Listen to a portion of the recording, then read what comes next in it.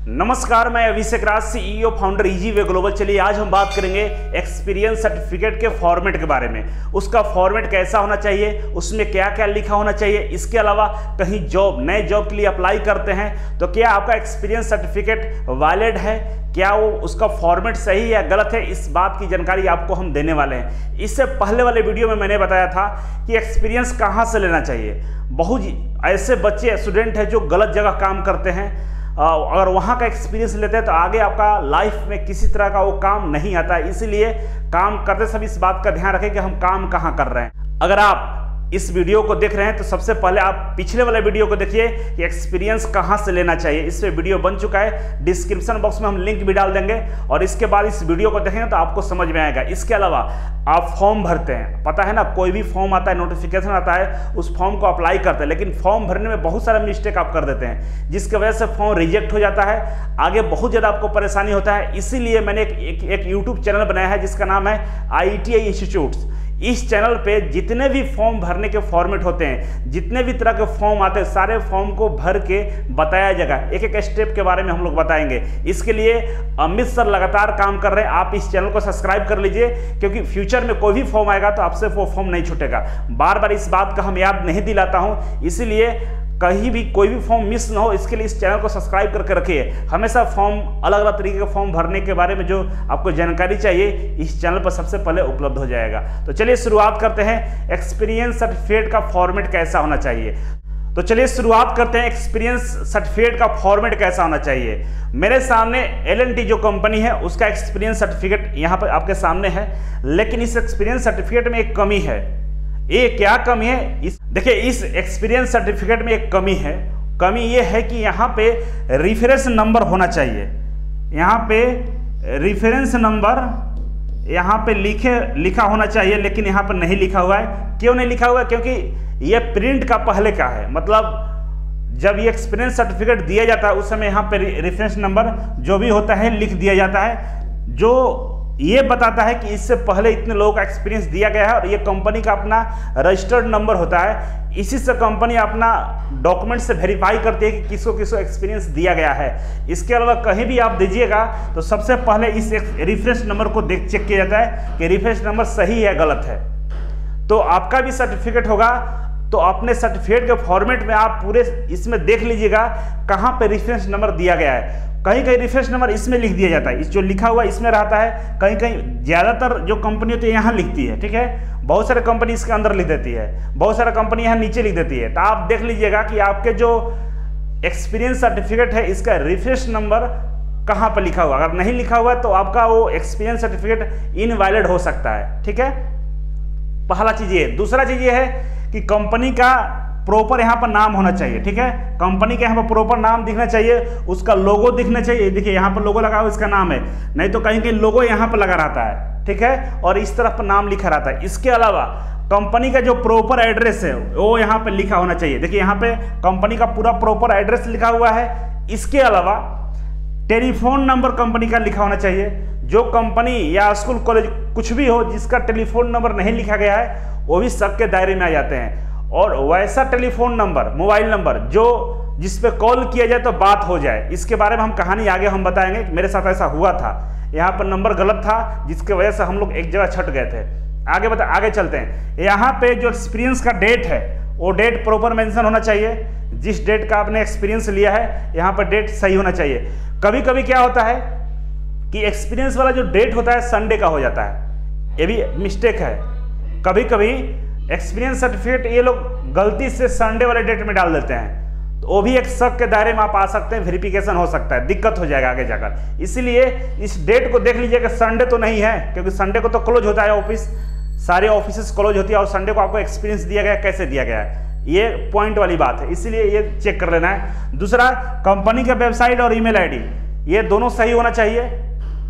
Check कर लेना है अपने खुद से कि कंपनी का जो वेबसाइट है वो सही है, गलत है। ईमेल आईडी सही होना चाहिए, मोबाइल नंबर सही होना चाहिए। ये सब चीज़ क्यों सही होना चाहिए, इसके पीछे कारण है। कारण ये है कि कहीं भी अगर आप ये एक्सपीरियंस सर्टिफिकेट देते हैं तो वो लोग क्रॉस वेरीफाई करते हैं। मतलब इनिशियल स्तर पर क्रॉस वेरीफाई किया जाता है। उसके लिए लोग हो सकता है कंपनी के नंबर पर कॉल कर लेंगे कॉल करके पूछ लेंगे।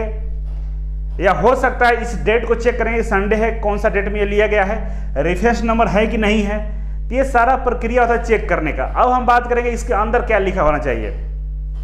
इसके अंदर आपका सबसे पहले आपका जो नाम है, वो प्रॉपर तरीके से सही होना चाहिए। जो आपके मार्कशीट है, जो आपका सर्टिफिकेट है, उसमें जो नाम लिखा गया, वो नाम ए टू जेड मतलब एकदम बिल्कुल इज़ यहाँ पे होना चाहिए, ठीक है? इसके साथ जिस भी डिपार्टमेंट में आप काम करते हो, उस डिपार्टमेंट का नाम होना चाहिए। देखिए, यहाँ पर लिखा हुआ है electronics and communication engineering department और उस डिपार्टमेंट के अंदर में आप किस पोस्ट पे हैं, वो यहाँ पे मेंशन होना चाहिए। जैसे आप एज ए टेक्नीशियन काम करेंगे तो हो सकता है आप इलेक्ट्रिकल डिपार्टमेंट हो मैकेनिकल डिपार्टमेंट हो, इस तरह का डिपार्टमेंट होता है। और इलेक्ट्रिकल और मैकेनिकल डिपार्टमेंट के अंदर में आप कौन सा वर्क कर रहे हैं, जैसे टेक्नीशियन है तो टेक्नीशियन लिखा होना चाहिए एज ए टेक्नीशियन ऐसे लिखा रहेगा, ठीक है? ये होता है। इसके अलावा आप कब से कब तक कंपनी में काम कर रहे हैं, उसका भी यहाँ पर ज़िक्र होना चाहिए। जैसे यहाँ पर लिखा गया है during the period December 2009 to March 2010 ये पीरियड यहाँ पे दिया गया है कौन कौन सा पीरियड है? दिसंबर 2009 से मार्च 2010 ये इनका एक पीरियड है। लेकिन यहाँ पे ये गलती क्या है कि दिसंबर दिसंबर भी डेट होना चाहिए। एक दिसंबर दो दिसंबर दस दिसंबर कौन सा डेट का? तो मान लीजिए दस दिसंबर से लेकर यहाँ पे 10 मार्च 2010 तक, ऐसे लिखा होना चाहिए। मतलब दिन के साथ, महीना नहीं, महीना के साथ दिन भी होना चाहिए। कौन सा डेट को आपने ज्वाइन किया था और कौन सा डेट को आपने छोड़ा है। और यहाँ पे जो सिग्नेचर होना चाहिए, उस डिपार्टमेंट का जो हेड है, उनके द्वारा यहाँ पर साइन होना चाहिए। नॉर्मली जो कंपनी का एक्सपीरियंस होता है, उसमें ह्यूमन रिसोर्सेज को एचआर जो टीम होती है, जो उनके हेड होते हैं, उनके द्वारा यहाँ पर साइन होता है और मोहर होता है। तो ये रहा कंपनी का एक्सपीरियंस जहाँ पे इस, इतनी सारी चीज़ें आपके एक्सपीरियंस सर्टिफिकेट में होना चाहिए, ठीक है? इसके बाद मेरे पास भी एक्सपीरियंस था एक आईटीआई कॉलेज का। उसमें जो वहाँ का मोबाइल नंबर था, वो गलत था। मोबाइल नंबर गलत था या वो मोबाइल बंद ही हो गया था, ठीक है? तो एन मुंबई में इंटरव्यू था, उसमें हम लोगों ने ये एक्सपीरियंस सर्टिफिकेट दिया था। प्रॉब्लम क्या था कि जो सर थे, जो इंटरव्यू ले रहे थे, उन्होंने कॉल कर दिया उस नंबर पे। वो मोबाइल स्विच ऑफ़ बता रहा था। जिसके कारण हम लोग को पेंडिंग में डाल दिया गया और वहाँ उस जगह पे दूसरे कैंडिडेट को रख लिया गया। एक कॉलेज है, इस कॉलेज का एक्सपीरियंस सर्टिफिकेट है। देखिए, यहाँ पर रिफ्रेश नंबर दिया गया है। यहाँ पर लिखना है, यहाँ पर डेट है, यहाँ पर कॉलेज का साइन है प्रिंसिपल के द्वारा और इसमें भी जो डेट दिया गया है, देखिए, जनवरी दो हज़ार आठ से मार्च दो जबकि अब जो नया एक्सपीरियंस सर्टिफिकेट देने का जो चलन है, उसमें दिन मतलब तारीख भी दिया रहता है। यहाँ पर केवल मंथ दिया गया है, ठीक है? अब यहाँ बात करें, ये फॉर्मेट है। ज़्यादातर जो आईटीआई के बच्चे हैं, जो सी आई इंस्ट्रक्टर के लिए तैयारी कर रहे हैं, उनके लिए इस तरह का फॉर्मेट होना चाहिए। देखिए फॉर्मेट में रेफरेंस नंबर बहुत ज़रूरी है डेट भी ज़रूरी है। इसके अलावा आपका यहाँ पर नाम रहेगा, आपके फादर्स का नाम रहेगा, ये टीचिंग एक्सपीरियंस है, ठीक है? इसके अलावा वर्क एज टेक्नीशियन है तो टेक्नीशियन का लिख देंगे यहाँ पर। As a fitter technician as a electrician technician as a fashion designer technician जो भी टेक्नीशियन पोस्ट वाले यहाँ पर डालेंगे और यहाँ पे कब से कब तक आपने कंपनी में काम किया है ये यहाँ पे मेंशन रहेगा। इसके बाद सैलरी कितना पे हो रहा है ये भी यहाँ पे मेंशन कर सकते हैं लेकिन वो ज़रूरी नहीं है। इसमें ज़रूरी नहीं है। एक और बात है कहीं कहीं जो नॉन टीचिंग वाला एक्सपीरियंस होता है जैसे कंपनी में कहीं काम करने जाइएगा तो पे स्लिप भी आपसे मांग लेता है कि पे स्लिप दिखाइए। आपका पेमेंट हुआ वो पेमेंट का स्लिप दिखाइए उससे पता चलता है कि आप एक्स, आपका एक्सपीरियंस सही है।